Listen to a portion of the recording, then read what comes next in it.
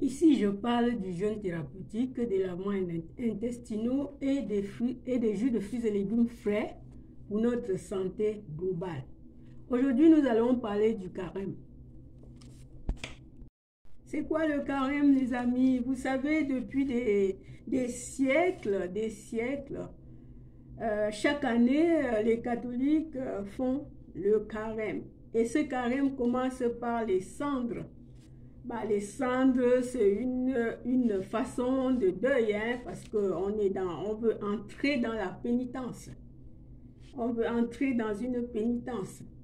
Donc, on se met les cendres pour un signe, pour, pour, pour, pour le, pour, le signe que pour le signe d'humiliation vers notre Dieu, euh, le signe que nous sommes euh, vraiment sur cette terre.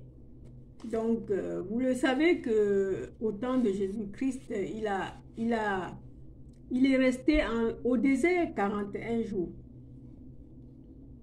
Oui, parce que nous, à chaque, année, les catholiques simulent en ce moment-là le moment, la période que le, Christ Jésus était dans euh, le désert pour se préparer afin d'aller exercer euh, la mission lequel il est venu faire sur la terre.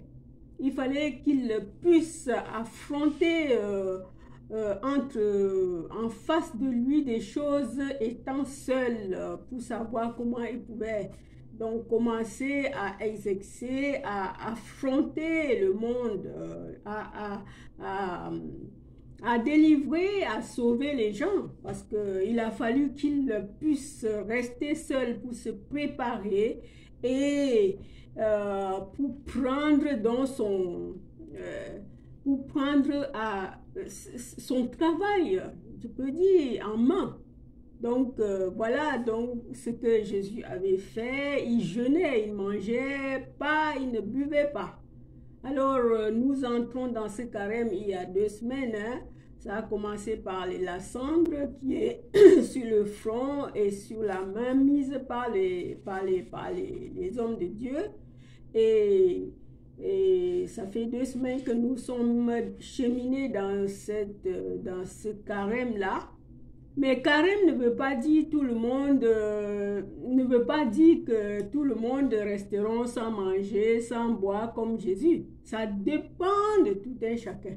Il y a les gens qui vont choisir euh, une journée d'humiliation, mais sachant que tout le mois, tous les 40, 40 jours seront euh, le fait d'aller dans, dans, dans ton être, euh, regarder des choses que tu voudrais, euh, qui, qui, qui t'ont toujours été difficiles de faire, par exemple, à pardonner quelqu'un, par exemple, à aimer quelqu'un, par exemple, à affronter certaines choses de ta vie.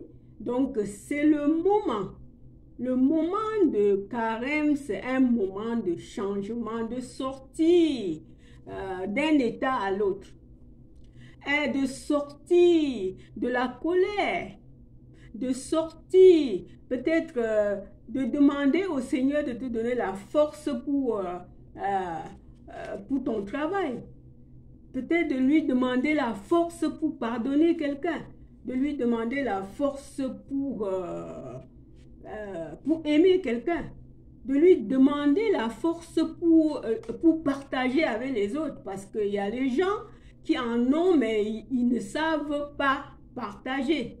Ils ne savent pas donner. Alors c'est le moment de demander à Jésus pour toi qui es chrétien comme moi, parce que je partage, parce que je suis croyante.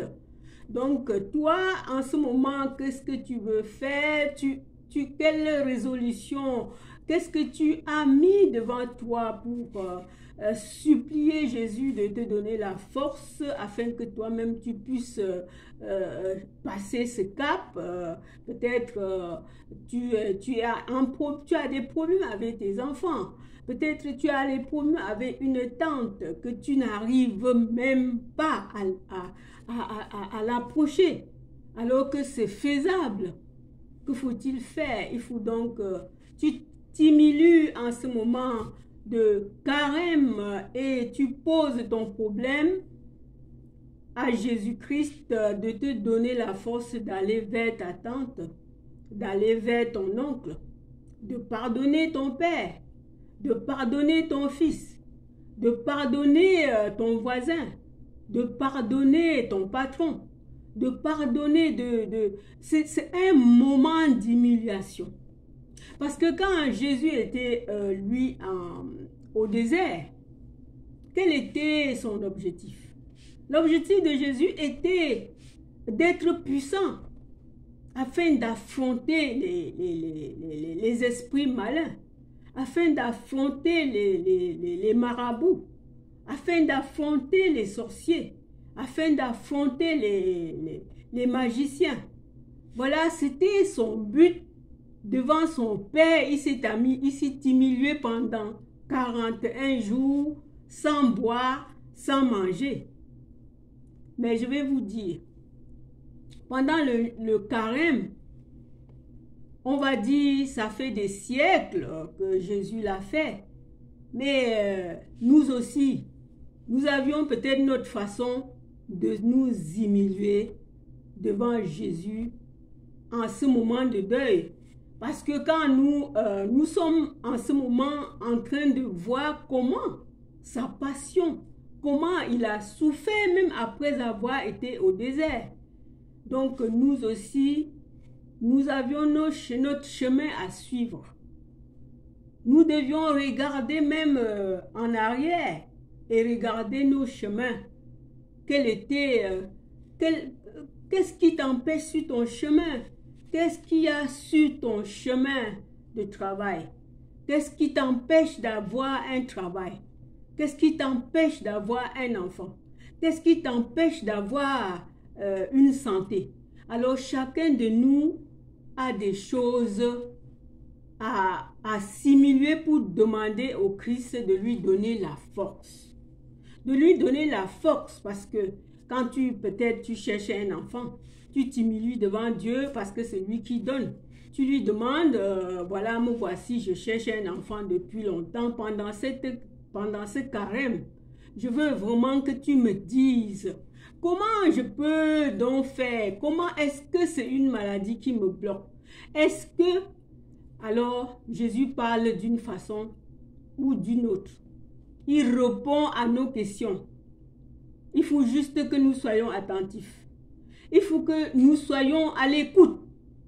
Donc, euh, j'aime bien partager ce qui va de, de ma religion parce que euh, j'adore bien, hein, j'aime bien et, et comme je suis, euh, je, je, je, partage tout avec vous, je ne peux ne pas vous partager ce carême. Moi, en plus, je ne fais pas le jeûne tous les jours. Je ne fais pas les... Moi, je choisis des jours que je ne peux pas manger, je ne peux rien goûter. Mais euh, ça dépend de chacun. Il y a des gens qui peuvent jeûner une semaine pendant ce carême ou bien même les 41 jours. Alors l'on doit se préparer. Vous savez que ici je parle du jeûne. Alors nous n'allons pas comparer le jeûne euh, ramadan et le jeûne carême euh, à ce jeûne-là que nous jeûnons pour, par exemple, parce qu'on a les poèmes de, de, de, de douleur euh, ça, il y a, y a plusieurs façons. Alors que Jésus, en ce moment-là, c'était ce jeûne-là. C'était ce jeûne pour être lucide, pour être fort, pour être même en bonne, pour être, pour être euh, euh, une, une personne de décision. Alors Jésus quand il a décidé de faire les 41 jours, quand il est sorti, il a commencé à exercer. Il a impacté le monde entier. Il a impacté sa famille. Même sa famille ne l'ont pas cru. Là où il était né, on l'a pas cru. Mais euh, il a continué ailleurs. Et les gens qui l'ont suivi, euh, ils se sont, il a transformé ce monde-là avec cette puissance qu'il avait. Alors je te dis, toi, toi qui me regardes aujourd'hui, Peut-être tu as des projets qui n'aboutissent pas.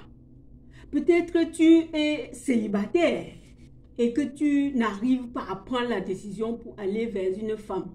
Peut-être tu es une personne qui est solitaire, tu n'aimes pas aller vers les autres.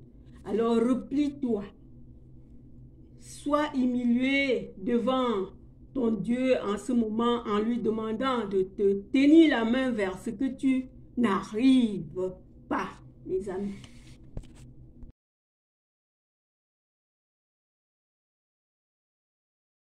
Vous savez, il y a des gens qui jeûnent euh, et puis ils se font connaître, ils, ils, montrent leur jeûne à tout le monde. Ah, j'en ai vu des gens qui jeûnent et dans les rues, ils crachent partout. Dieu est avec chacun chez soi.